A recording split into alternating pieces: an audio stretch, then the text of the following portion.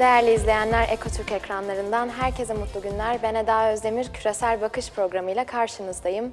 Öncelikle küresel gelişmeleri değerlendiriyor olacağız programımız kapsamında. Ardından piyasalara bakacağız ve bir de konuğumuz olacak Skype bağlantımız Ferhat Pirinççi kendisi de. Şimdi bakalım küresel çapta hangi haber başlıkları öne çıkmış? İlk haberimiz Biden'ın açıklaması. Biden, Trump'ın yenilgiyi kabul, kabul etmemesi utanç verici açıklamasında bulundu. ABD başkanlığına seçilen Joe Biden, Delaware eyaletinde Trump'ın yenilgiyi kabul etmemesine ilişkin açıklamalarda bulundu. Başkan Donald Trump'ın seçim sonuçlarını kabul etmemesine ilişkin bunun utanç verici olduğunu düşünüyorum. Söyleyebileceğim tek şey başkanın geride bırakacağı mirasa yararı olmayacak ifadelerini kullandı. Trump yönetiminin demokratların zaferini kabul etmemesinin dinamikleri değiştirmeyeceğini vurgulayan Biden, Beyaz Saray'a geçiş süreçlerini tutarlı bir şekilde yürüttüklerini söyledi hiçbir şeyin geçiş planlarını durdurmayacağını ifade etti aynı zamanda Biden ve Amerika geri geldi ve tekrar oyuna dahil oldu. Artık sadece Amerika yok dedi. Ayrıca Biden, ABD Dışişleri Bakanı Mike Pompeo'nun Trump yönetiminin ikinci dönemine yumuşak bir geç geçiş olacak iddiasının hiçbir kanıtı olmadığını da belirtti. Uluslararası Hava Taşımacılığı Birliği, koronavirüs salgını nedeniyle havacılık sektöründe 4.8 milyon kişinin işini kaybetme riskiyle karşı karşıya olduğunu açıkladı. Ee, birlik dünya genelinde salgından dolayı seyahat taleplerinin %75 düştüğünü de belirtti. Ayrıca havacılık sektöründe istihdam felaketinin önlenmesi için hükümetlere acil müdahale ve sürekli mali destek sağlama çağrısında da bulunuldu. Genel Müdürlük tarafından yapılan açıklamada hava yolları şirketleri maliyetlerini düşürdüğü ancak mevcut koşulların altında yalnızca 8.5 aylık nakit kalındığı uyarısı da yapıldı diyelim.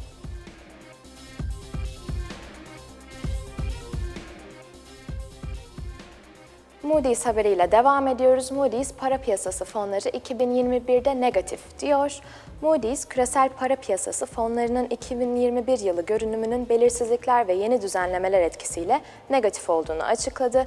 Kuruluşun, kuruluşun değerlendirmesinde ayrıca bankaların görünümlerinin negatife döndüğü ortamda para piyasası enstrümanlarının kredi kalitesinin hasar aldığı, bunun da para piyasası fonları için faaliyet ortamını daha da zor hale getirdiği ifade edildi. Ayrıca değerlendirme, önde gelen para piyasası fonlarının likiditesi yüksek olsa da piyasa belirsizlikleri nedeniyle sektör riskleri sürüyor ifadelerine de yer verildi.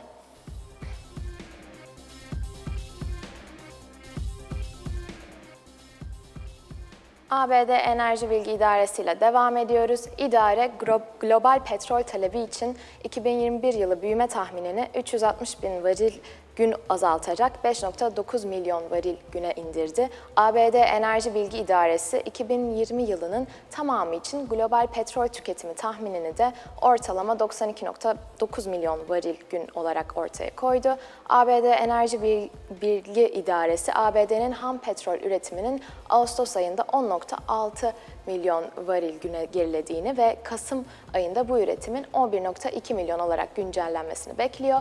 Birliğin 2021 yılı için Brent petrolüne yönelik ortalama fiyat beklentisi 47 dolar varil başına dolar olarak.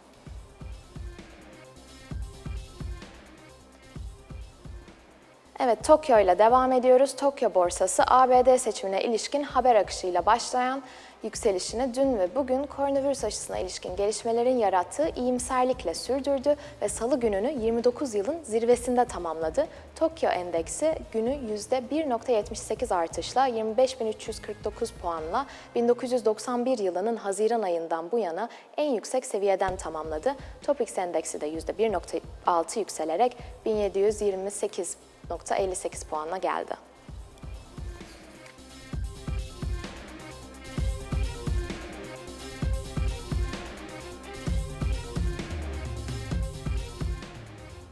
Evet değerli izleyenler şimdi bakalım piyasalar bu küresel gelişmeler üstünden nasıl fiyatlanmış, neleri fiyatlamış piyasalar.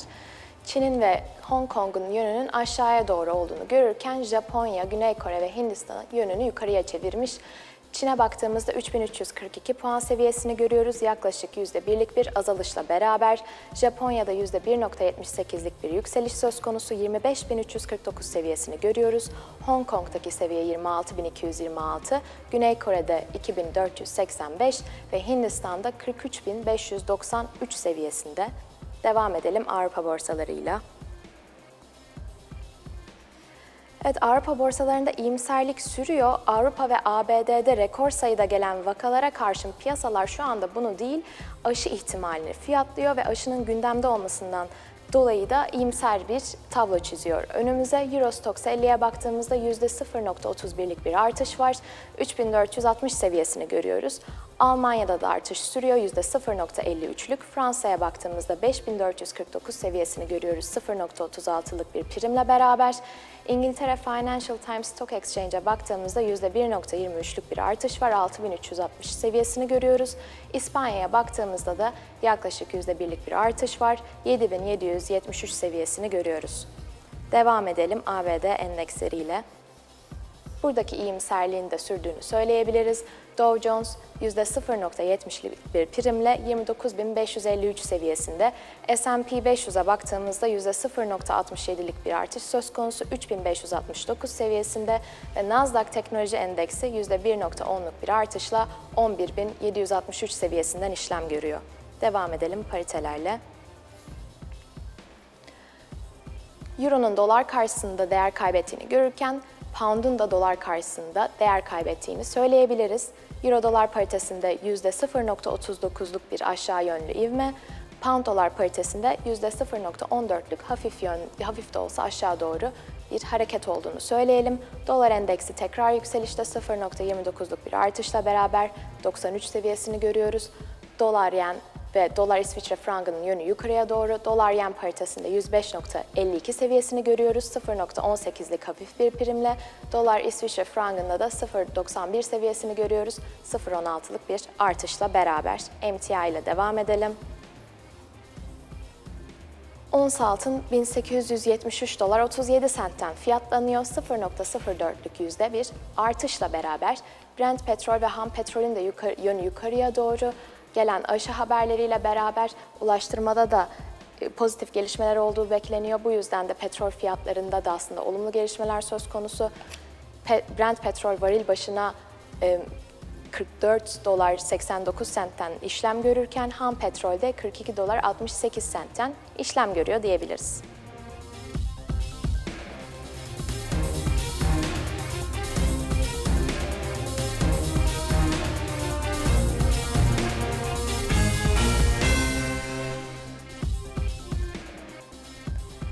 Evet değerli izleyenler şimdi konuğumuza gidecek bir Skype bağlantımız olacak. Ferhat Pirinççi ile kendisi Uludağ Üniversitesi'nde öğretim üyesi Profesör Doktor. Merhabalar Ferhat Bey, hoş geldiniz yayınımıza. İyi günler Eda Hanım, iyi yayınlar diliyorum. Teşekkür ederim. Öncelikle Biden'ın açıklamalarıyla başlayalım istiyorum. Delaware eyaletinde konuştu Biden ve Trump'ın yenilgiyi kabul etmemesine dair utanç verici ifadelerini kullandı. Bunun utanç verici olduğunu düşünüyorum. Söyleyebileceğim tek şey başkanın geride bırakacağı mirasa yararı olmayacak açıklamalarına da yer verdi ayrıyeten. Siz nasıl değerlendiriyorsunuz? Çünkü iş biraz tatsızlaşıyor gibi görünüyor bu boyutta. Evet resmi sonuçlara göre henüz onaylanmadı Biden'ın 46. başkan oluşu fakat şu saatten sonra da bir yandan işlerin değişmesi zor gibi. Sizin değerlendirmeleriniz nelerdir konuyla ilgili? Evet, iş biraz tatsızlaşıyor ve Biden da bunun tatsızlaşmaması için elinden geleni yapıyor. Şimdi e, seçim gününden itibaren süreci bir bütün olarak değerlendirdiğimizde e, ilk açıklamayı Biden yaptı ama orada kazanacağını ifade eden bir açıklamada da bulunmadı. Sadece önde olduğunu söyledi. Ancak Trump hemen arkasından önce Twitter üzerinden arkasından e, canlı yayına çıkarak seçimde e, kazandığını, e, önceleri biraz hafiften böyle az iddialı bir şekilde ama sonrasında daha güçlü bir şekilde bunu söyledi. Oysa oylar açıklandıkça ve sandıkların sayımların tamamlandıkça tabülasyonda e, Biden'ın e, hem delege sayısı açısından hem de e, genel anlamda oy oranları açısından rekor düzeyde e, seçimi önde götürdüğü ve dolayısıyla kuvveti muhtemelde e, Amerikan başkanı yine seçilecek olan Amerikan başkanı olacağı görülmekte. Tabii Trump e, burada en başından itibaren seçimden önce de ifade ettiği uzaktan oy kullanımını sorunlaştıracağı ve bu sorun üzerinden de çeşitli iddialarda bulunacağı beklenmekteydi. Ancak E, bir de bu bıçak sırtı olan dengede e, Biden'ın öne geçmesi Trump açısından çok fazla kabul edilebilir bulunmadı. Ve açıkçası Trump evet bazı eyaletler düzeyinde çeşitli davalar açtı. Bunların bazıları reddedildi, bazıları sürece e, süreç içinde işleniyor ve ilerlemeye başladı. Ama e, Biden tarafına baktığımızda o ABD'nin kendi içindeki kutuplaşma ve dolayısıyla toplumun içindeki o ayrışmanın sonucu olarak ciddi protesto beklentisi vardı. Sadece şunu hatırlatmak isterim. 3 Kasım seçiminden bir iki gün öncesinden başlayarak ABD'de e, başlıca kent merkezlerinde Washington DC başta olmak üzere çeşitli mağazaların kepenklerinin e, olası yağma ve halk hareketlere karşı kapatılması söz konusuydu. Ve bu yağma veya e, taşkınlık beklentisi sadece Biden taraftarları veya Trump taraftarları özgü değildi. Yani Biden kazanırsa Trump taraftarlarının, Trump'ın kazanması halinde ise Biden taraftarlarının veya Trump karşıtlarının sokağa çıkma ve bu e, barışçıl protesto yapma ve bunu yaparken de zaman zaman taşkınlık yaşanması olasılığı bulunmaktaydı. Biden bu riski gördüğünden biraz da e, başkanlığa daha yakın pozisyonda olduğundan e, seçime yönelik e, Trump'ı daha fazla agresif hale getirecek söylemler e, söylememeye çalışıyor, ifade etmemeye çalışıyor. Biraz daha böyle teskin edici. E, öncelikle kendi kitlesine ama e, daha ziyade Trump taraftarlarına özellikle Trump'ı e, silahlı bir şekilde destekleyen belli başlı grupları e, çok fazla e, provoke etmeyecek şekilde ve toplumsal kutuplaşmadaki o gerginliği biraz daha azaltacak şekilde söylemlerde bulunuyor. Dolayısıyla dün ifade ettiği söylem de aslında buna benzer bir şey. Evet Trump'ın bu süreci nereye kadar götüreceği, tırmandıracağı ve dolayısıyla krizin nereye kadar e, ilerleyeceği şu an henüz net değil. Trump da açıkçası biraz e, öngörülmeyen bir lider. Yani Biden hakkında daha fazla öngörüde bulunabiliyoruz. Çünkü Trump bu 4 yıllık başkanlık sürecinde bize gösterdi ki her an her şeyi yapabilecek nitelikte bir insan. E, bir siyasi karar verici olarak e, önceden öngörebilir veya işte tahmin edilebilir adımlar e, atması veya rasyonel diye tanımlanabilecek adımlar atması, e, atmaması kadar şaşırtıcı gelmiyor insanlara. Ama Biden'a baktığımızda gerek e, 36 yıllık senatörlük tecrübesi özellikle de e, önceki 8 yılda yani Trump'tan önceki 8 yılda başkan yardımcılığı yapması ve bunu yaparken de Trump kadar agresif veya e, değişken bir profil sergilemek yerine daha düşük e, düzeyde, düşük dozlu bir yönetim tarzı sergilemesi e, Biden açısından Biden taraftarlarının e, bu konuda çok da fazla süreci tırmandırmak istemedikleri sonucunu doğrudan doğruya ortaya çıkarıyor. Ama aynı şeyi Trump açısından söylemek mümkün değil. Yani şu an bana soracak olursanız eğer e, Trump bunu nereye kadar götürür, nereye kadar ilerler, e, bunu yarın veya bugün bile çıkıp Twitter'dan seçimi kaybettiğini kabul edip Biden'ı tebrik edebilir. Veya Ocak 2020'de yemin töreni zamanı geldiğinde Beyaz Saray'dan e, ayrılmayacağım, başkanlık benim hakkım diyecek şekilde süreci e, tırmandırabilir. İki ihtimalin de eşit ağırlıkta olduğu bir süreci yaşıyoruz ve gerçekten de ilginç zamanlar e, Trump'ın kendi şahsına münhasır yapısından kaynaklı bir şekilde o kurumların işlemesi veya işlememesi noktasında ciddi bir e, sıkıntı potansiyeliyle karşı karşıya bulunduğunu söyleyebilirim Amerikan siyasetinin. siyasetinin. Bu noktada Georgia'da kritik. Şu an oy sayımı halen noktalanmadı. Georgia'da ve buranın Biden'ın lehine, demokratların lehine dönmesi durumunda Biden'ın 4 yıllık başkanlığında daha rahat etmesi söz konusu, daha rahat yasa çıkarması söz konusu. Burada şu an Biden az da bir farklı olsa önde. Sizce Georgia'nın alınması bu anlamda nedenle önemli ve Senato'da demokrat üstünlüğü sağlanabilir mi? Öngörüleriniz nelerdir bu konuda? Evet, e, daha çok bizler e, Amerikan başkanlığı üzerinde yoğunlaştık. Tartışmayı bunun üzerinde yaptık ama e, dediğiniz gibi Senato'da önceki dönemde Cumhuriyetçilerin lehine bir yapı vardı. 100 kişilik Senato'nun 53 üyesi Cumhuriyetçiyken 45 artı 2 diyebileceğimiz yani 47 üyeyle demokratlar ve demokratlara müzahir iki tane bağımsız adaydan oluşmaktaydı. Dolayısıyla Trump'ın bu anlamda eli oldukça rahattı. Hatta e, seçimden e, bir, bir iki ay kala Anayasa Mahkemesi'ne yeni üye ataması bu cumhuriyetçi yoğunluklu senato sayesinde olmuştu. Tabii e, şu anda Georgia ve e, diğer belirsiz eyaletlerin de ortaya çıkmasıyla senatodaki dağılım daha net bir şekilde e, tamamlanacak. Yani şu ana şu andaki görüntü 48 cumhuriyetçi, 46 demokrattan oluşan bir senato. Ortada e, 6 kişilik bir boşluk var. O 6 kişinin nereye gideceği, nasıl dağılacağı bir şekilde Biden'ın olası başkanlığı e, veya Ocak 2020'de başlaması öngörülen, tahmin edilen başkanlığı açısından elbette önemli olacak.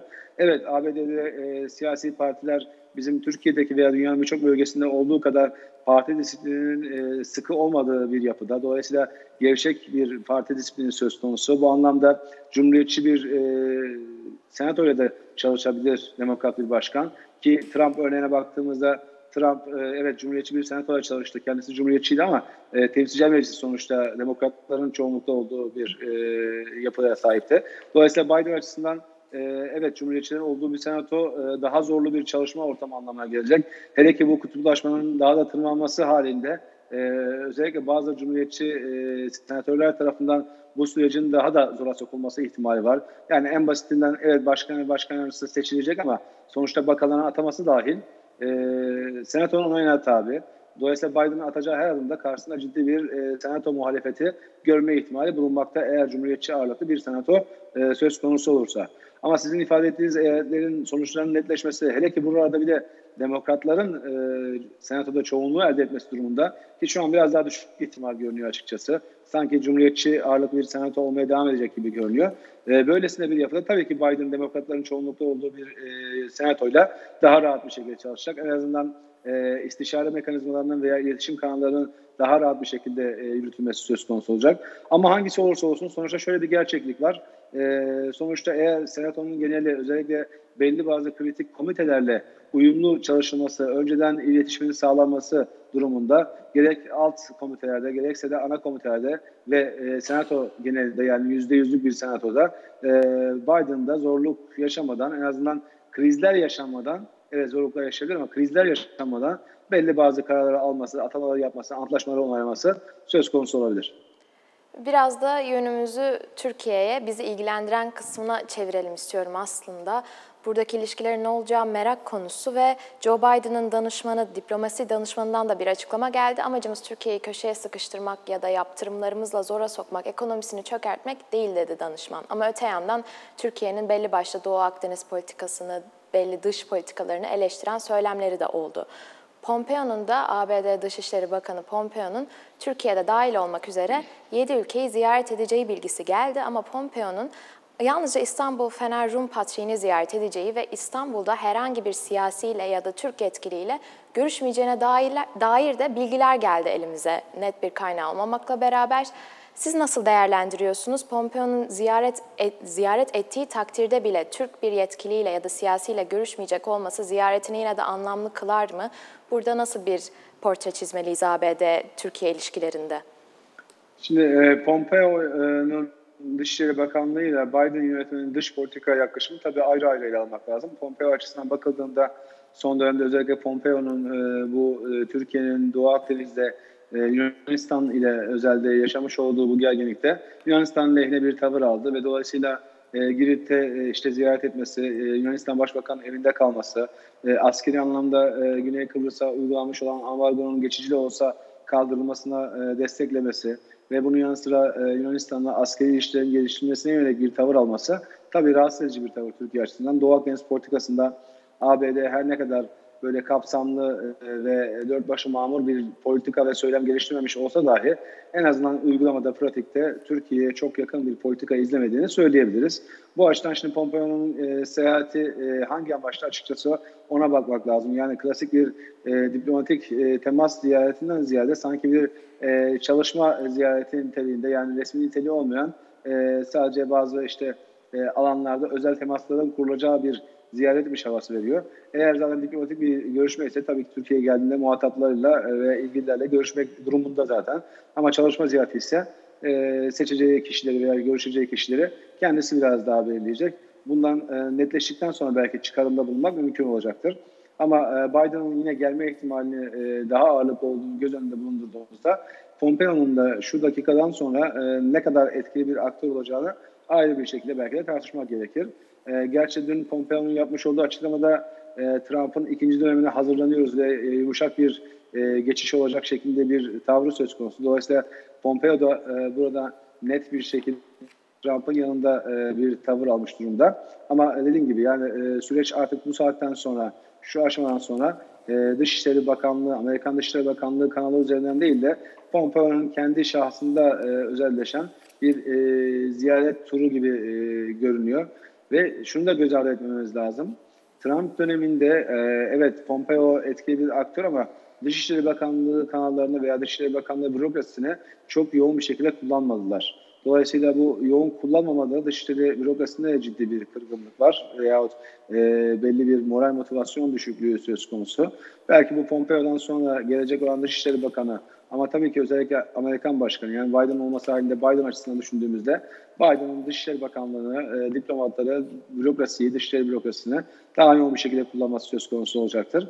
Buradan hareketle sizin biraz önce e, Biden'ın e, danışmanlarından bir tanesinin e, Türkiye'ye ilişkin yapmış olduğu açıklamayı aslında biraz da bu çerçeveden görmek lazım. Yani sıfırdan bir başlangıç her ne kadar geçmişin e, getirmiş olduğu yük iki ülke ilişkilerinin omuzlarında olsa da geçmişin e, yükünü e, mümkün mertebede ön plana çıkarmama, önce bir pozitif gündem ve ilişki oluşturma durumu söz konusu olabilir. Sayın Cumhurbaşkanı dün de zaten Biden'a yönelik tebrik mesajı da aslında bu e, adımların bir işareti sayılabilir. E, Biden tarafından da işte e, ufak tefek açıklamalar gelmeye başlayacaktır.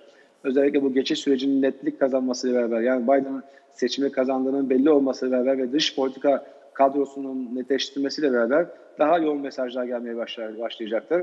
Ama e, yoğun mesajlarda sadece Türkiye'ye karşı değil, diğer ülkelere yani Trump döneminde gerginliğin yaşanmış olduğu birçok ülkeyle en azından retorik bağlamında yani söylem bağlamında biraz daha yumuşak bir e, retoriğin e, kullanılacağını şimdiden öngörmek mümkün. Dolayısıyla sizin e, atıfta bulunduğunuz o Türkiye'ye yönelik açıklamalarda bu bağlamda değerlendirmek gerektiğini düşünüyorum. Bir de kısaca e, ABD'deki hükümet konudaki değişimleri sormak istiyorum size. Esper görevden alındı Savunma Bakanı ve şu an Pentagon'da geçiş döneminin avantajını kullanarak Trump yeni görevlendirmeler yapıyor geçici de olsa. Merak ettiğim bunların ileride bir geçerliliği olacak mı bu konumlandırmaların? Çünkü Esper'in görevden alınmasının sonrasında İslam karşıtı paylaşımları ve Obama döneminde aslında terörist olarak bile nitelendirilen Senato tarafından önceden onaylanmayan Anthony Tata aynı göreve vekaleten getirildi. Bu noktada bunları nasıl okumamız lazım ve Türkiye'nin Türkiye açısından durumu nasıl ele almak lazım? Ee, şöyle, e, şimdi Trump'ın dördüncü savunma bakanlığı değişimi söz konusu oldu. Dört yılda dört tane dışişleri bakanı değişmesi Trump e, iktidarının e, kendi bürokrasisine ne kadar hakim olduğu ve kendi atadığı bakanlara ne kadar hakim olduğu veya ne kadar uyumlu çalıştığı konusunda ciddi fikirler veriyor. Yani çok olumsuz bir tablo anlamında söylüyorum bunu. ifade etmek isterim öncelikle. İkincisi e, bu seçim sürecinde Trump'ın kaybetme eğiliminin ağırlık kazanmaya başlamasıyla zaten Esper'in bir istifa dedikodusu veya duyumu bazı basın organlarında yer almaya başlamıştı. Trump'ın tam da böyle bir ortamda Esper ve Esper'e müzahir diğer kişiye görevler alması durumu söz konusu oldu. Şimdi bu noktada yerine atadığı kişi e, ve diğer alt bürokrasiye yani bakan altındaki üst düzey bürokrasiye diye ifade edebilirim. Kişilere e, geçici veya, veya vekaleten bizim Türkiye'deki e, karşılığıyla e, vekaleten veya işte müdür vekili, bakan yardımcısı vekili şeklinde bir vekaleten atamalarda senato onayına ihtiyaç duymuyor. Çünkü senato onayına ihtiyaç duyması durumunda e, burada zaten iki buçuk aylık bir süre kalmış. E, bu süreçte üst düzey bürokrasiyi ne kadar e, değiştirirse değişirse sonuçta politika uygulama anlamında çok hayati bir konu da olmadığına göre şu an ana gündemde çok büyük bir anlamı olmayacaktır. Bir de ABD'de bizde Türkiye'den farklı olarak belki de bizim Türkiye'nin yavaş yavaş e, alışmaya başladığı ve gelişmeye başladığı bir model. Ama e, yine de, de toplumun ve bürokrasinin büyük çoğunluğu buna alışkın değil. ABD'de Amerikan başkanları beraber bakanlar, bakan yardımcıları, işte bizdeki karşında müsteşarlar, müsteşar yardımcıları e, ve üst düzey bürokrasi bir ekip olarak gelir. Bir ekip olarak başkan kaybettiğinde veya başkanın görevi sona erdiğinde de bir ekip olarak geri döner. Yani kendi eski işlerine dönerler. E, yeni başkan da kendi ekibiyle beraber gelir.